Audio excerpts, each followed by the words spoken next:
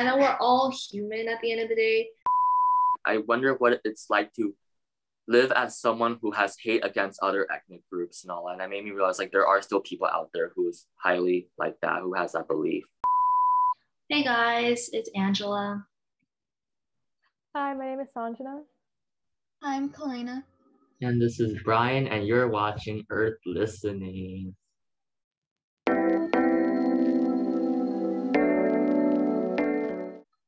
Okay, Bryan, you want to introduce what we're talking about today? Yeah. So, with the following the recent um spike in coronavirus, now we also have been experiencing Asian hate among the communities. A lot of cases you already heard about the Atlanta Atlanta hate crimes. Now you heard a lot about Asians getting pushed over, a lot of elderly being attacked, and initially that's what we're addressing for today's topic for podcast. So I'm gonna open the floor for anyone who want to start you guys want to talk about your thoughts? Yeah, I just want to ask the question, and like throw it out there. Like, did any of you guys ever experience racism, like growing up, or especially during the pandemic? Any experiences like that? We kind of like live in a bubble in Cerritos because, again, mainly everyone's Asian. So yeah, not personally, no. Yeah. I have heard racist racist comments towards me, like when I was in elementary school. I like you, I didn't realize it was until like later on, like somebody like it was about my hair. And I was like, oh wow, okay. I kind of took it off as a compliment. And then later on I realized that was a complete insult. I told my mom and I was like, like I didn't reply. It was a teacher too. yeah. It was something about my hair. It's like, oh, your hair looks like a horse tail. Oh and you know, a student like in like a really young student will be like, "Oh my gosh, oh okay," like you don't you don't expect the teacher to like insult you. So I was like, "Oh, is that a like?" In my mind, I'm like, "Oh, that's a good thing." and then I tell my mom, she's like, "What?" And like my mom being an immigrant, she doesn't want to say anything because, you know, so yeah. now I'm just like, why did I just pass it off as like that? Why didn't I say something? Right. But yeah. I feel like I feel like when you said like it looks like a horse tail, it sent mixed feelings. I felt like maybe it was like it's for for an um, elementary school kid, it might seem like a compliment, but then I mean, now that we're more now that we changed and all that we're more mature, we definitely found out there are a little bit of like little loopholes in that statement. It feels it feels like a compliment, but it could very well be passed off as a, also a racist comment too. So yeah. I still like I'm like, oh, that's still a compliment. And then I like I process it. I'm like, because you expect a teacher to say right. something like right. You don't expect like especially like this community. Yeah. So then I like put more time into thinking about it. I'm just like that is not right at all. Mm. There's no way you can say that to somebody, but yeah. too late. Personally, for me, since I've never experienced like racism or like never remembered having like racist experiences, like when I realized or when I saw on the news, like even a year ago, that like oh Asian hate crimes or like Asian like discrimination is increasing or like violence against Asian Americans um, are like happening around the country, I was like, I was like, wow, like that's actually a thing, you know, like mm. that never really like I never really knew that was reality because I never like personally seen it. Um, even within the past year, I know violence has been occurring here and there, but like it never like like it never sunk or seen. Yeah, it never like like I didn't really realize like wow that's real until like the Atlanta shooting where like I actually saw like these Asian women were killed. And like that was like my like epiphany where I realized like wow like this is actually reality. And this is like what is going on towards our Asian community. Yeah. What are your guys' thoughts about like like the Atlanta shooting? Did it like have a sudden like realization to you guys? For me personally, there was a video going around. Um, I think last March or like the beginning of quarantine of um a lot of hate crimes against um like old Asian like there was this one video of people just beating up an Asian man just because he was Asian and because of the coronavirus. And I feel like watching that video was really when I realized that stuff like this happens.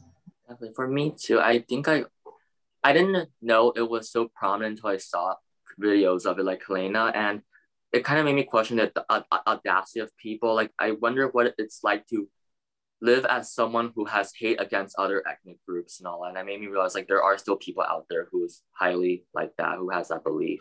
Um, for me, my response to like the Atlanta shooting, honestly, um, at first it was numb. Like I felt numb. Like I, I didn't really feel anything. I was like, like I think I was it was still in the like disbelievement stage where I was like, wow, that actually happened. Like I like I'm still like trying to process and digest like this was reality that uh, a shooter, a white shooter, killed eight people and like out of the eight of them, seven sorry, six of them were Asian women. And like he deliberately went to like these Asian marketed spas um, to kill them. And then he blamed it on his like sexual addiction and like like fetishized fetishizing sorry i can't pronounce the word like asian women and i was like oh, wow i was trying i was trying to like digest it but then like after like i don't know 30 minutes or something i was scrolling through tiktok and looking at all those like videos that was in response to the shooting. And like i kind of felt like i felt angry. Like like and especially where i heard the news that the county officer said oh he was having a bad day you know? I was like like that really like triggered right. me because i was like like if it was any other man besides like white um like african american mexican i don't know another asian person we would never see that oh he was having a bad day excuse so like that was really triggering to me and i was like wow he has the audacity to make an excuse to make us feel empathy to a killer and all that stuff like oh that was right. really triggering yeah. And I can't even imagine how hard it must be to walk the streets of a probably a more uh, ethnically white neighborhood and then suddenly someone comes up to you and start beating you up. That's automatically that's scary, right? Mm-hmm. Well, well, we're not in their shoes, so we can't feel it. But for the people there who died, it's definitely you can imagine the horror they have to go through at that moment before they were shot, and it kind of does scare you a bit to think, wow, like people this is human kind of human nature right uh, it's yeah it's a little bit scary and you definitely feel a lot of empathy for these people because they are it's their race they didn't they didn't choose to become asian it was born just that way and they were being targeted for that i've also heard like another story um, one of the people who died was like a 50 year old uh, mother um, she came she immigrated from china and then like that really that connected to me because like my mom was kind of have the same circumstance as her. Like she also came from China, and then she's also like in her 50s, um, early 50s, and then like, you know, like all that stuff. And I was like, wow, like that could have been my mom. Like if we were living there, you know, it's like it's crazy.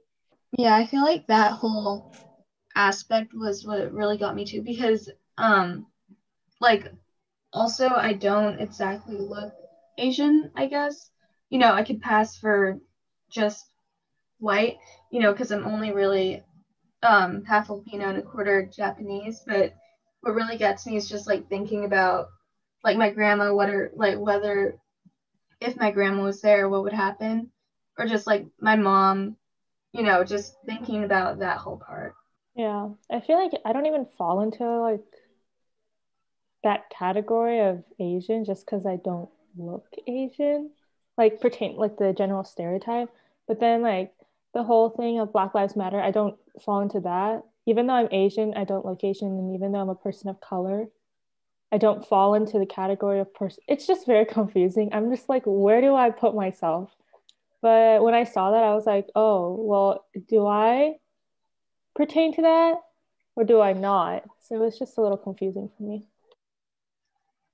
Yeah, I think you bring up a really good point. Like, I feel like even today there's like a common like stereotype of like asians are just like chinese japanese korean and like it doesn't take into account like indians um, like southeast people or like central east asian central asian asia um, like vietnamese cambodian thailand um, indonesian all that like types of asians but yeah. Yeah. I definitely also see that too. I feel like um because we live in America, most of the posts you see on Instagram are geared towards Americans, but there's also um, hate crime against uh, other minority groups like um, Angela said, like the Central Asian, those type. but I feel like we don't really recognize that a lot. Mm-hmm. I feel like the shooting was geared towards like Chinese or like just Asian, um, like the good the Korean, Japanese, Chinese are long held group of Asian people, definitely. Yeah. Yeah. I think this like gets into a good transition into like the model minority myth.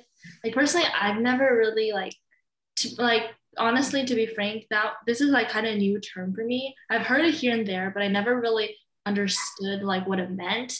But like just to get a gist of it, it's basically I think from my research, like it's about like saying, oh, Asian, the Asian community is like hardworking people, they're highly educated. And like, so the other minorities should be able to like look and be like Asians and like be as hardworking as them. Like, oh, if Asians can do it, then like you guys should do it too. And then like I see the problem where like it kind of alienates and like isolates um like people of color because it's just like kind of like I've seen like a TikTok video where like that one Asian was like saying like, oh, white people are basically like separating um, like African Americans with Asians because of this model minority. And then it just creates like a divide between people of color, which there really shouldn't be a divide. Like I feel like we're all like minorities. We all face some sort of like discrimination as we're like maneuvering our way through America.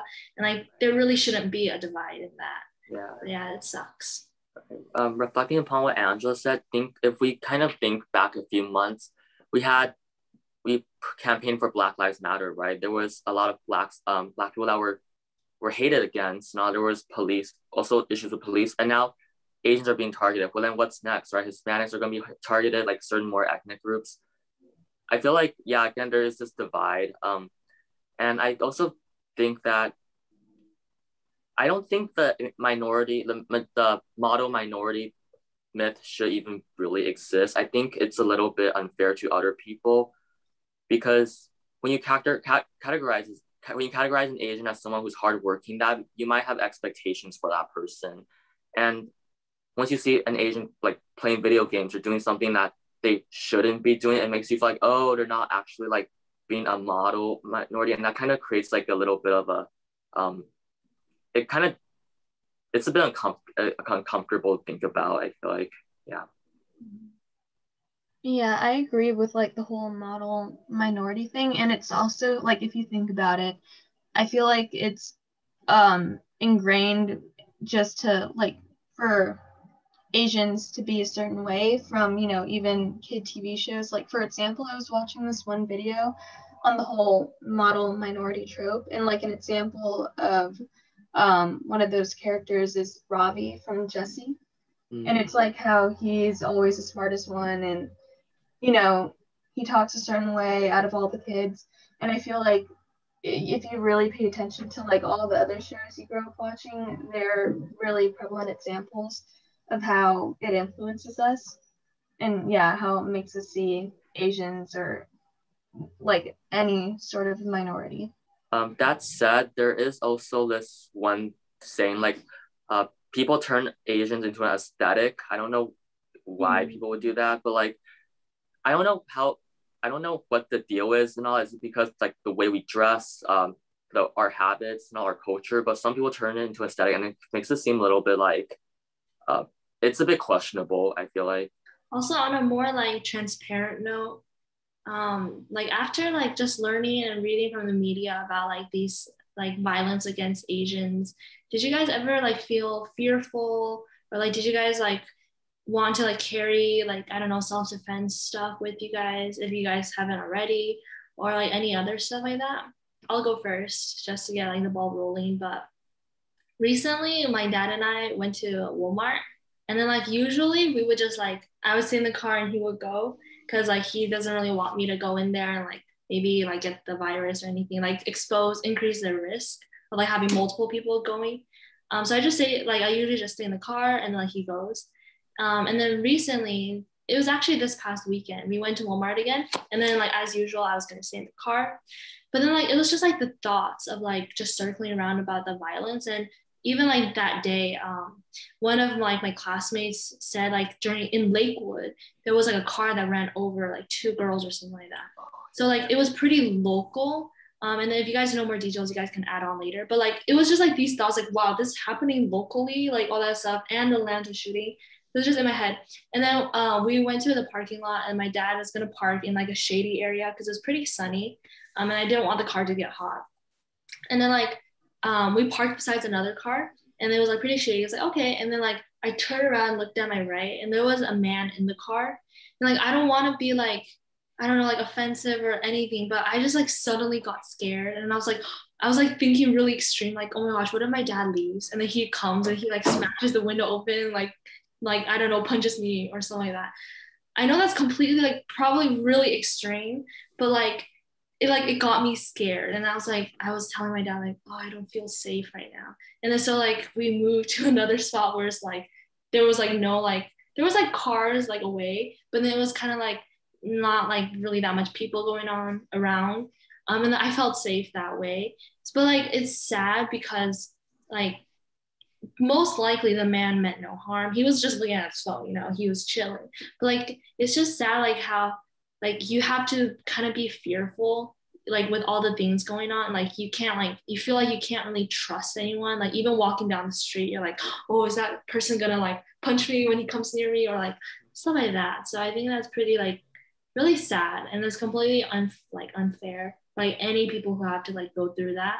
Um, go through the like the fear of like just walking outside and having the fear like what if i get hurt? Or what if like someone punches me or something? Or even like worse like what if i get killed? Like that is very like sad. Like for anyone who has to go through that it's completely unfair and like very unfortunate.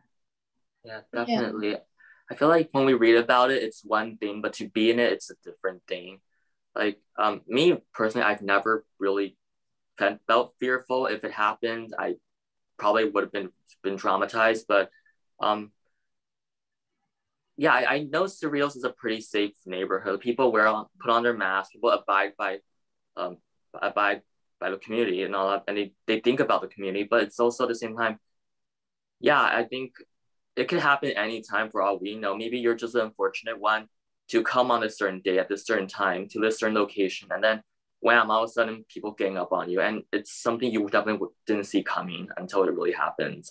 So, yeah, it's just smart to be cautious and to, you know, just be prepared in any way. Going back to what Angela said about carrying a defense weapon, let's say hypothetically, if you were um, attacked by white people or just any people in general for your race, and you brought that defense weapon, as pepper spray, so be it, what, um, what have you. If the cops came, there is a good chance you might be blamed for bringing a weapon when it was someone who assaulted you. There could be a good, um, there could be that again that racist kind of a uh, way of dealing with the problem. Oh, you're Asian, you're carrying a weapon. Whereas if someone carried a gun, they probably well, very well pass off as like innocent, right? Oh, he was having a bad day. For Asians, oh, he carried a weapon out. You know, it could very well happen. You don't know. So, uh, another way to pin out the inequality in um, weapon control and everything. So yeah, topic of racism is not new. Think about how we've been dealing it dealing for for centuries. We're learning AP like US for those of you who are learning US history, you guys hear that Asian sentiment, like that anti-native sentiment, has been around even you know remember during the gold rush, right? When Asians flocked over to California to search for opportunities, there was still hate among them too. So I feel like this has been going on for centuries, and while we do we have been making a bit of progress, there's still a lot of way we need to pay for the future. So we can try to cut down on this issue so that it becomes more obsolete. I feel like overall, everyone just needs to be more empathetic, whether it be like, regardless of any race you are, just be empathetic about the other person and like try to think about um, how they are like in their shoes. I mean, of course, you can't know their full story um, and their full circumstances, but try to understand like, I know we're all human at the end of the day. We're all like trying to be in the pursuit of happiness, trying to live a happy life, you know, be with friends and family, make the best of our lives. But yeah. Um, and then also just to like, you know, disclaimer, uh, we're not saying all white people are like that. It's really just about like the honestly, all these hate crimes are like the I don't know if it's like minority, but it's like very like extreme points in the overall like graph of people. Um, but like that's just it, it sucks because like it feels like we can't trust anybody because we can't be too not cautious like we need to be cautious about our safety which makes us like have to like be wary of everyone even though we obviously know like not everyone um like our races and all that stuff. But yeah it sucks that there are like these problems going on. It's not new. It's just like brimming until like suddenly and right now it exploded where everyone um kind of like wow like really came out of the surface and like it sucks because I feel like the Atlanta shooting didn't really need to happen because a lot of Asian influencers have been like calling out for support. They're like saying, "Oh, we are getting like we're getting punched, we're getting like jumped on, all that stuff." Like more people need to speak out, but like it didn't reach that much media attention until the Atlanta shooting, which sucks. But yeah, at the end of the day, just be more empathetic, be more understanding. Yeah.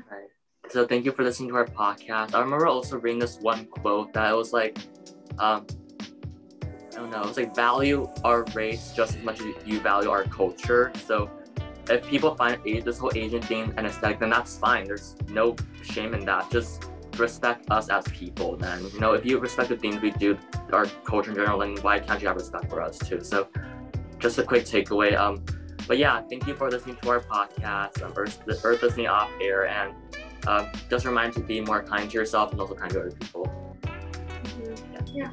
Adios. Bye, guys. Hola. Bye bye. Thanks for listening. Check us out on Instagram at Earthlinking Official. Check out our website on Instagram located in a link in our bio. Subscribe to our YouTube channel at Earthlinking Team.